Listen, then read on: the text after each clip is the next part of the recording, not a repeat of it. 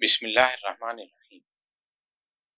حضرت ابن عمر رضی اللہ تعالیٰ عنہ سے روایت ہے۔ انہوں نے فرمایا کہ نبی مکرم صلی اللہ علیہ وسلم نے فرمایا کہ جب تم میں سے کوئی کھائے تو دائیں ہاتھ سے کھائے، پیے تو دائیں ہاتھ سے پیے، کیونکہ شیطان بائیں ہاتھ سے کھاتا اور پیتا ہے۔